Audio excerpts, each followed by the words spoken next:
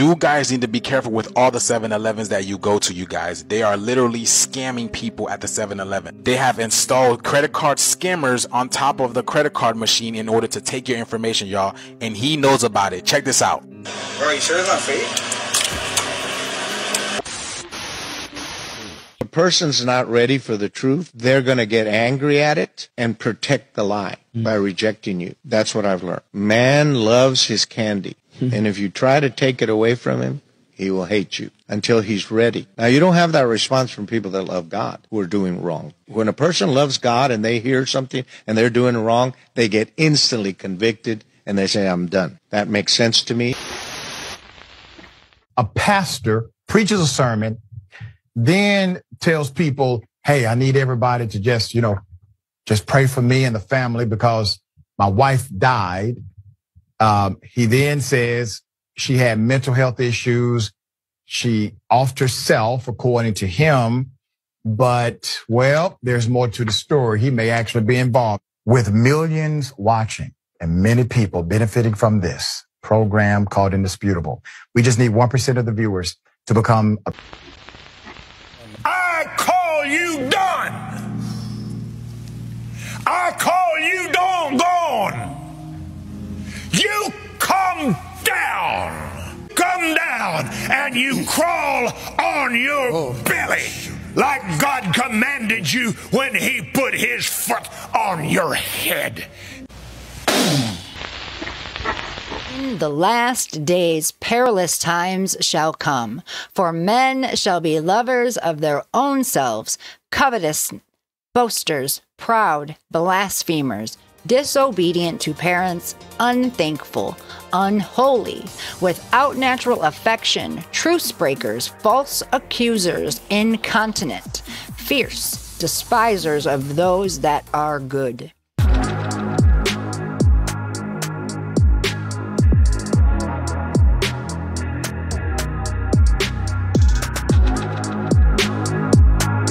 Welcome to a brand new episode of Highly Motivated, where we have addicted ourselves to the ministry of the saints.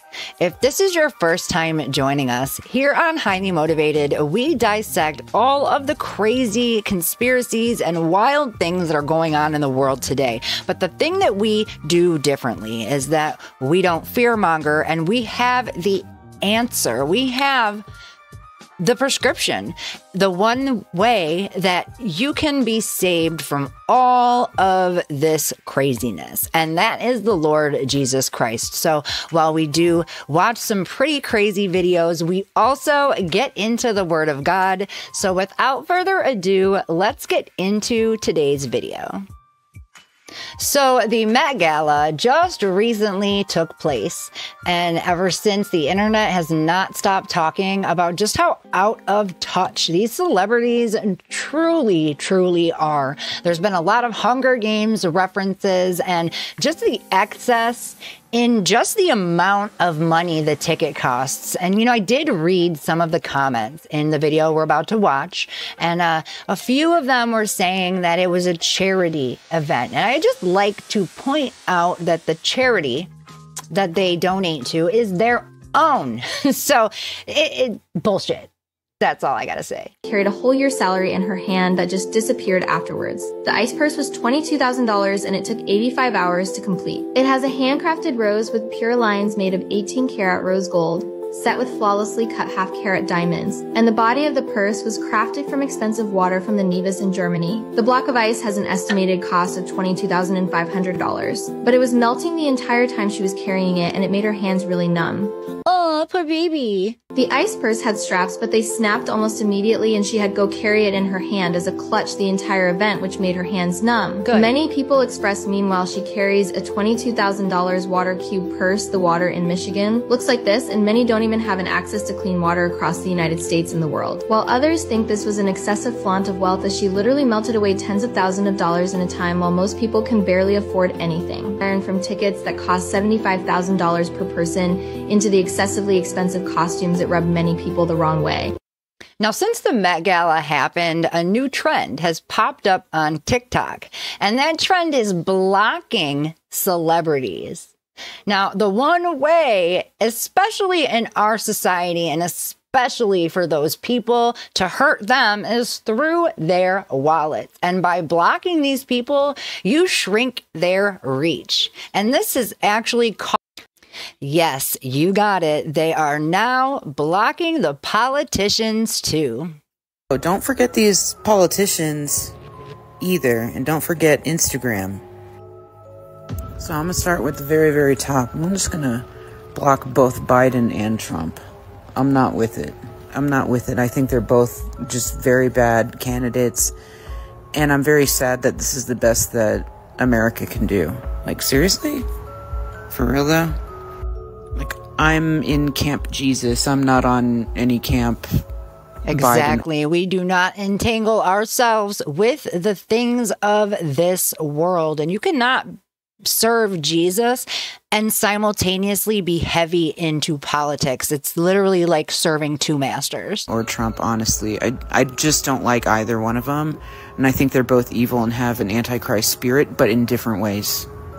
I think a lot of Christians follow Trump because it just kind of matches a Christian's agenda with the anti abortion thing. Um, and then Biden is just extremely incompetent, but at the same time, neither one are honestly, neither one align with Jesus, in my opinion. Like, it just, I just don't see either one. Nobody needs to necessarily be holier than thou, but when you're selling blasphemy Bibles for, for yet another, for, for trials and stuff like that, just, I'm just not with it. Also, why does Biden have this icon, this this emoji of like the red eyes and stuff like that on official campaign stuff? Like, bro, you're evil. You're evil too. They're literally trolling us. I'm... Like, I'm just not with none of it. Yeah, so all that, yeah, y'all can just boom, bye. like, I'm not with it. I, I never want to hear about Hunter Biden ever again as well. I just, no. You know what I wish is we I wish we had a viable third party option that like other countries, like other democratic countries do. That would be dope. Because this is just a tire fire and if I don't need to deal with this tire fire till November, boom. A tire fire. What do you guys think would happen if everyone blocked every politician, didn't watch any news channels, didn't engage in any of the debates, and then no one at all voted. What do you think would happen? I feel like they would probably lie and say they had a record turnout and then they would still just place whoever they chose in anyway, right? There are scammers everywhere. With new technology comes new ways to scam people, and apparently, nowhere is safe, not even a 7 Eleven. You guys need to be careful with all the 7 Elevens that you go to, you guys. They are literally scamming people at the 7 Eleven. They have installed credit card scammers on top of the credit card machine in order to take your information, y'all. And he knows about it. Check this out. Bro, are you sure it's not fake? Buddy. Yeah. Why are you holding it down so hard? Look. It's literally a scanner. We could call the police right now. Look, he knows. He knew damn well. I have it all on video. Don't use your cards in places like this. They're trying to steal your information. Be careful. Why are you acting confused? You knew I was there. Like, come on, bro. Look, get his name and everything, because he's saying that he checked it and he confirmed My it. name is you don't want to show his name. The guys like come over here, give me cigarette. Yeah, but I thought you checked it. You, you, said, you said that it was real. You, you checked, but obviously not, bro. Look, this is the real tapper. What is this? We put tape here. Now this one new. So how come it says right here tap to pay? If taps up here, why does it say? Yeah, he checked it. He checked it to make sure the fake one was on top. yeah, he definitely knew because I know this is what they do in India. India has all the scam call centers located all around the world, y'all. This is what they do. They literally call old people who have no idea what's going on with their bank accounts and they scam them out of money. And now they're taking it to the gas station as well. This is the third 7 Eleven I come across with these scammers on it. So y'all need to be careful going in the gas station, especially the 7 Elevens, y'all. This video is strictly for entertainment purposes only. I am only raising awareness to interesting situations during these interesting times. Like, comment, and share for more videos like this. Thank you for tuning to my frequency. Let's get this shift, y'all. Peace in. So they use those machines to get the credit card numbers and then they upload the credit card numbers to the dark web. They sell them in batches. Now, these people get the number, they get your address, they get your, uh, last four of your social sometimes look at the three digit code on the back the expiration date. And so when people buy these batches of cards they use some sort of technology to transfer your balance to a blank card that they then sell to someone for like half as much as it's worth. So then they get the cash, and then somebody is literally there with a cloned card taking money out of an ATM. And, you know, unfortunately, it is illegal all the way around. But I think some of the people who buy these cards don't really know how they obtained these numbers. They have an idea that they're just like putting a number in a machine and it's coming out of nowhere. But no, this is coming from a person and it's stealing. Wait till you guys hear what this gentleman found in his yard. What's up, TikTokers outside a while ago? I got my dog throwing his stick, we heard a bunch of coming across the street. I figured it was a bunch of locusts or bugs. I don't know, June bugs or something. They flew over our head probably seven, eight feet. One of them hit the pole, and you could hear it on the ground. I thought it was one of those katydid things. But you tell me, why in the hell would this shit right here be flying around? Somebody please explain to me. What the hell is that thing? You see that, guys? That's no bug. What the hell that is? And and I found out as I was picking it up, if you squeeze that on the, the end on each end,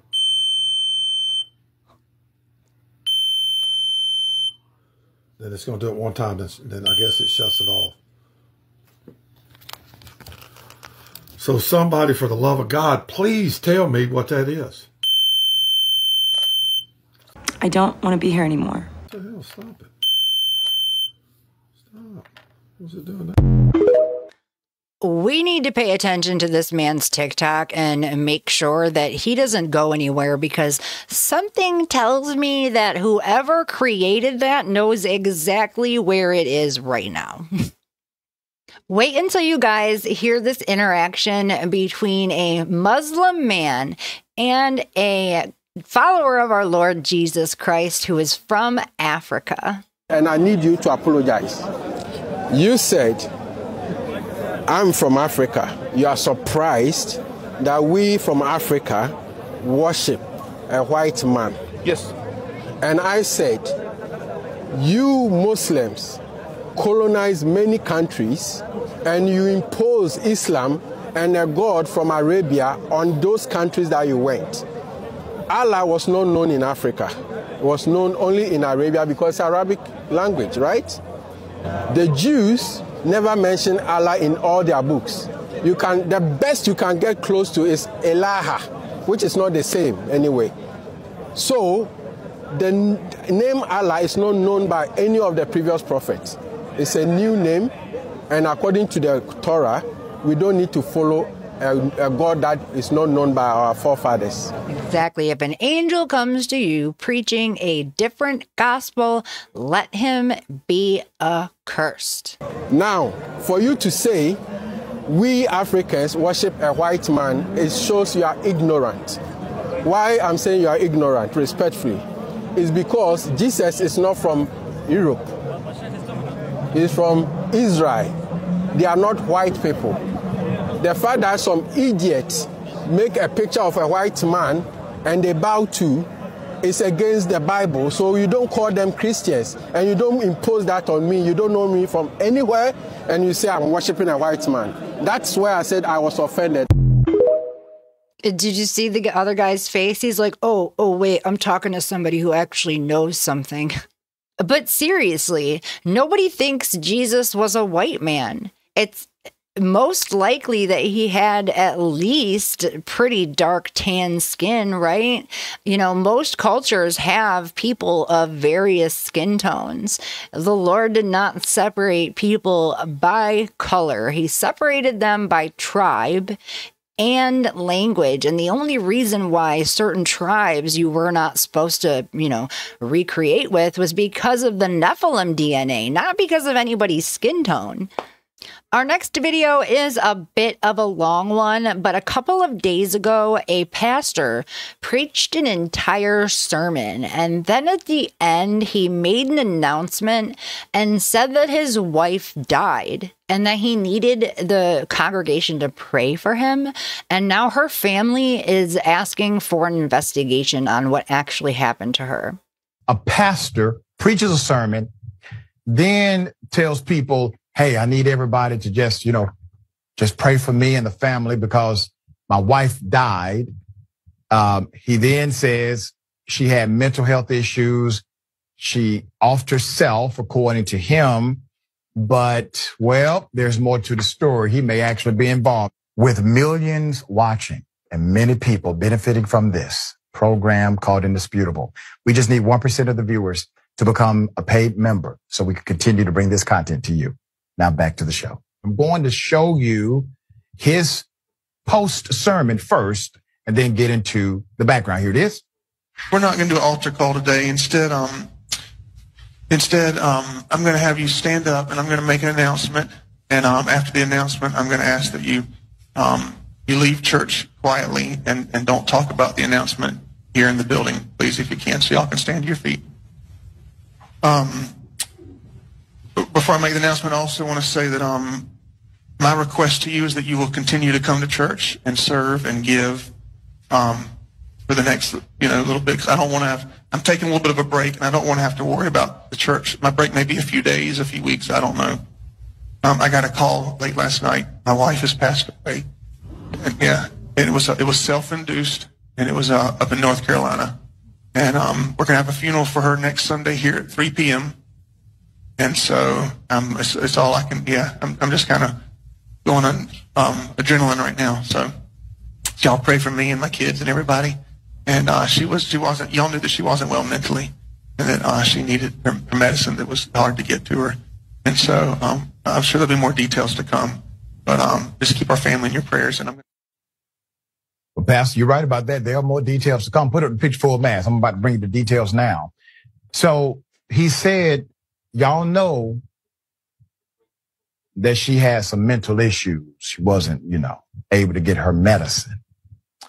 Per Fox 31, Pastor John Paul Miller of Myrtle Beach was released from his duties amid an ongoing investigation into the death of his wife, 30 year old Mica Miller. It's already suspicious that one of the first things that he mentions is her mental health. It just sounds like he's trying to paint this picture, right? Miss Miller was found to have suffered a fatal gunshot wound to the head at Lumber River State Park in Lumberton, North Carolina. That's according to a local newspaper. Okay. Pastor John Paul Miller of Solid Rock Church in Myrtle Beach announced his wife's death during a recent service, claiming it was okay. Six months after she filed for divorce, and even before police have determined the cause of death, her family friends urged the police to thoroughly investigate her sudden death, while Miller asked his church congregation not to discuss it inside yeah. the church. Now, the overseer of Solid Rock Church is um, in market comment, excuse me, sent a notice to his members on Sunday that Pastor Miller has been released from all ministerial functions. The church's website also suspended over the weekend and now redirects to a web page that says, quote, this account has been suspended. Um, the wife, Miss Miller's death comes as Robeson County Sheriff's Office opens an investigation into the April 27th shooting quote, officers in the process of gathering information from people in South and North Carolina as part of the investigation into how Miller died. Okay, so April 27th, not a couple days ago. Major McLean told the outlet. McLean revealed that there was no indication of the community being in danger. Quote, she has struggled with before. Each time we would help her through it and take her to the doctor and we got through it and everything was fine. She even gave a few testimonies here at church that we have on video. The pastor husband, John Paul said, quote, she battled. God took care of her and got her through it, end quote. So according to court documents, as the pastor claims he and his wife, quote, spent every night together for hours, just talking and talking and talking. Well, according to the documents, Ms. Miller filed for divorce from her husband, October 2023. Trouble in paradise. The case was dismissed in February, but a few days later, John Paul Miller filed for separate support and maintenance, seeking financial support as the couple were still, they were still legally married. In April, the wife also filed for, quote, separate support and maintenance with a hearing scheduled for June 5th. Her family. You cannot serve God and mammon.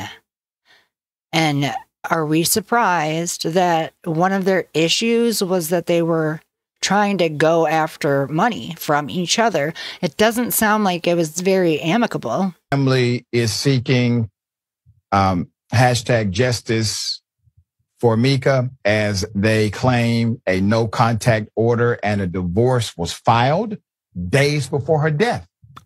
Bet the That's congregation didn't know that. local paper. Kansas native. She was a Kansas native, was the worship leader, graphics designer, youth leader, women's ministry leader, and pastor's assistant for the church. Her final social media post was this selfie with the caption that read, quote, when terrible, terrible, terrible things happen to you, y'all know what I'm talking about.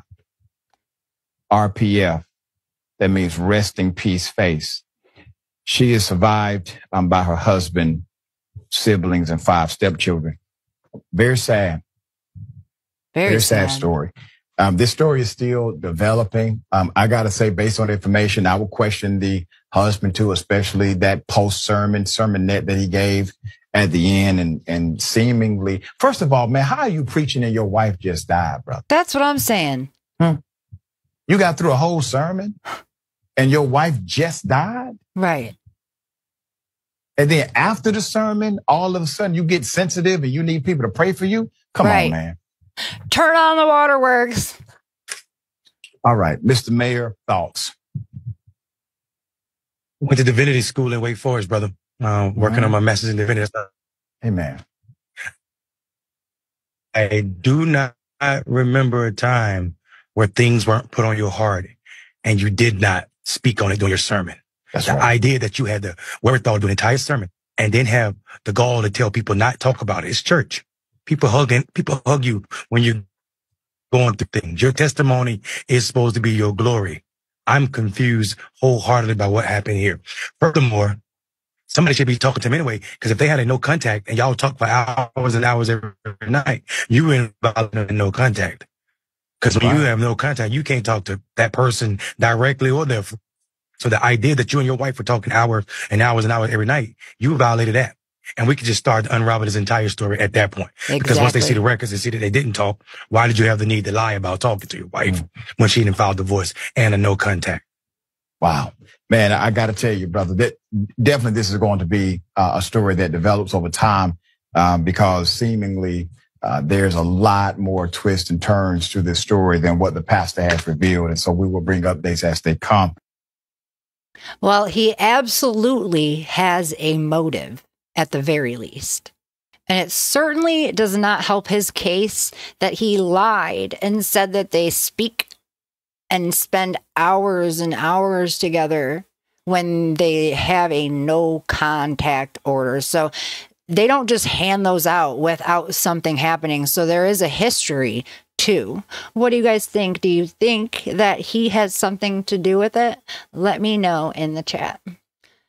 I really can't believe that at this point, Kenneth Copeland has a congregation. Like, people really will believe anything. His whole ministry is proof that people just don't read the word of God. Uh, like the fact that people sit in that congregation and they know he's got all these private jets. The man's eyes look like he's a straight up demon. I mean,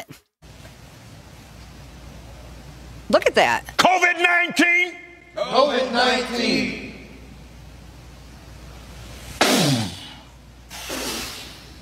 I blow the wind of God. The wind of God. On you. On you. Because we In have. the name of Jesus. Oh, thank you, Jesus. So fake. Standing in the office of the prophet of God, I execute judgment on you, COVID 19. I call you done. I call you done gone. You come down. Come down and you crawl on your oh, belly like God commanded you when He put His foot on your head. He's not human. I must have forgot that verse. Burn. Well, I'm telling you, it gets hot down there. I mean, like Jesse says, it's Africa hot down there, man. And it gets. Are you listening to me? Oh, yeah, it's, it's right there on the coast. It gets muggy, and that's what it takes to kill this thing. Uh, it hates heat. It hates humidity. It hates water. it just dies. I hollered at the top of my voice, in the name of Jesus, you get back up there where you belong. Boy, up it went. Yeah. I messed us up. The verse on this is 2 Timothy 3 1 through 17, and I think it describes him perfectly and why he still has a congregation. So I'm going to read it real quick. 2 Timothy 3, verse 1. This know also that in the last days perilous times shall come, for men shall be lovers of their own selves, covetous, boasters, proud, blasphemers, disobedient to parents, unthankful, unholy, without natural affection, truce breakers, false accusers, incontinent, fierce, despisers of those that are good, traitors, heady, high minded, lovers of pleasures more than lovers of God, having a form of godliness, but denying the power thereof. From such turn away. For of this sort are they which creep into houses and lead captive silly women laden with sins, led away with diverse lusts, ever learning and never able to come to the knowledge of the truth. Now, as Jannes and Jambres withstood Moses, so do these also resist the truth. Men of corrupt minds reprobate concerning the faith. Kenneth Copeland is absolutely a reprobate concerning the faith. Verse 9 But they shall proceed no further, for their folly shall be manifest unto all men, as theirs also was. But thou hast fully known my doctrine, manner of life, purpose, faith, long suffering, charity, patience, persecutions, afflictions, which come unto me at Antioch at Iconium, at Lystra. But what persecutions I endured, but out of them all the Lord delivered me. Yea, and all that will live godly in Christ Jesus shall suffer persecution. But evil men and seducers shall wax worse and worse, deceiving and being deceived. Amen. Well, I'm going to go back up right there because lovers of their own selves. I would say that that describes Mr. Copeland perfectly.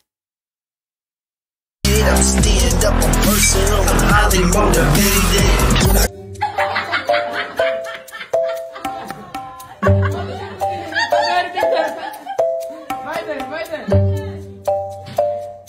They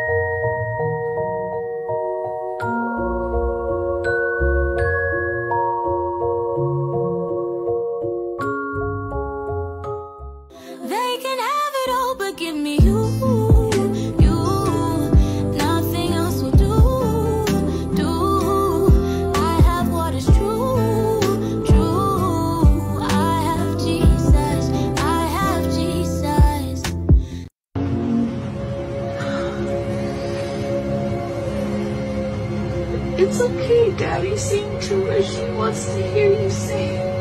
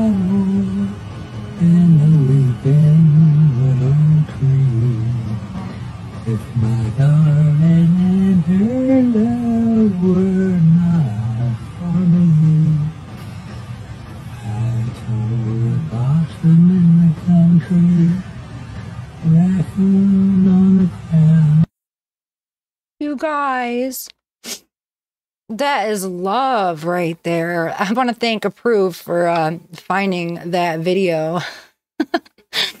Apparently, he likes it when I cry on stream.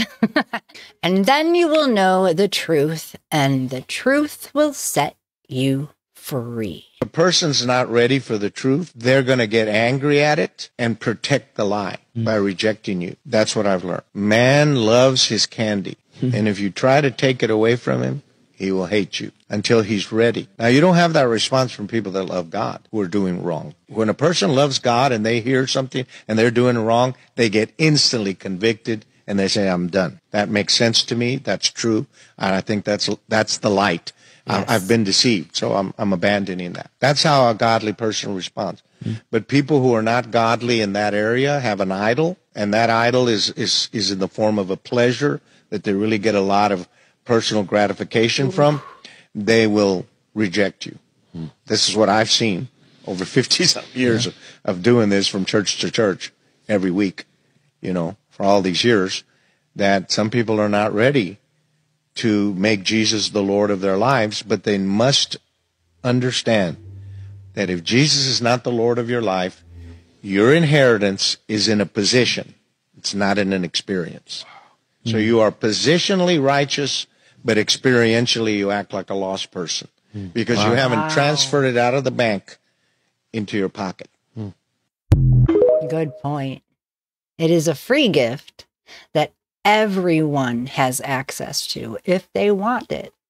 Not only will they reject you, but they'll call you some straw man term like like oh, you believe in oneness or modalism or you're a dispensationalist. Like they don't even know what these words mean and furthermore, if you feel like you need to call someone a term like that in order to discredit them without actually looking at what it is they're telling you well that's a, that's a you problem. You like things that tickle your ears. And obviously because if somebody's giving you verses and telling you to go read them for yourself and you just dismiss it and you're angry about it then what are your motives? Are you in good faith Now it's time to get into the Word of God. Today we're going to be reading in Titus chapter 2. Go ahead and get your Bibles if you want, but as always, I will be putting it on the screen for you.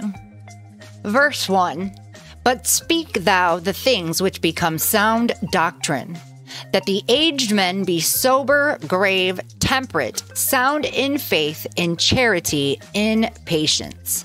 The aged women likewise, that they be in behavior as becometh holiness, not false accusers, not given too much wine, teachers of good things that they may teach the young women to be sober, to love their husbands, and to love their children, to be discreet, chaste, keepers at home, good, obedient to their own husbands, that the word of God be not blasphemed. Young men, likewise, exhort to be sober minded.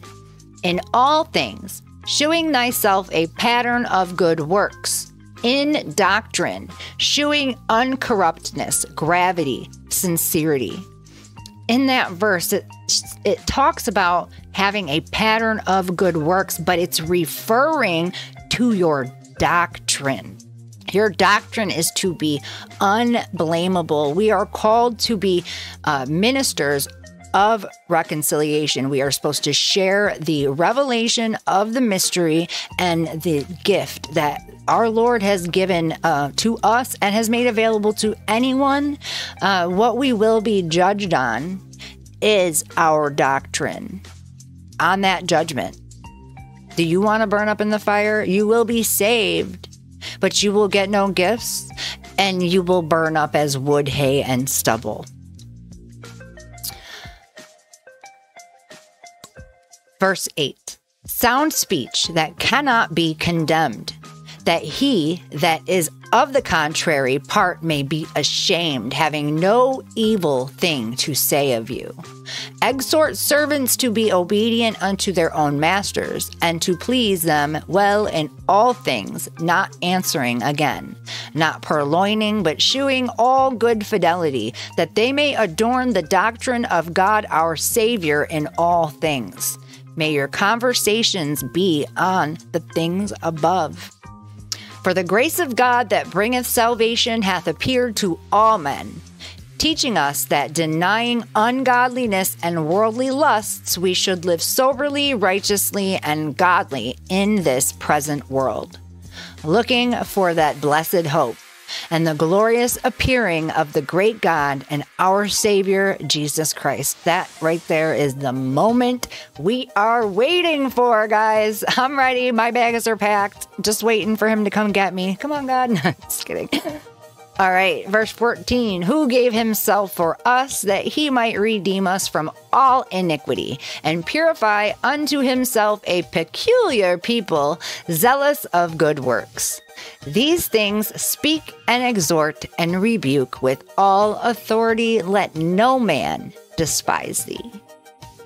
Now, I quickly also would like to read Philemon 2 15 because I really think that it applies to the way that we are supposed to be living today and the fact that we are rese- representatives of Christ. We are ambassadors for Christ.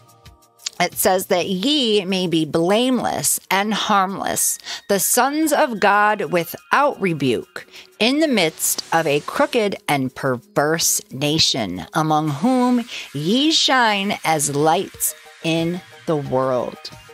When you have Christ in you, people can see it.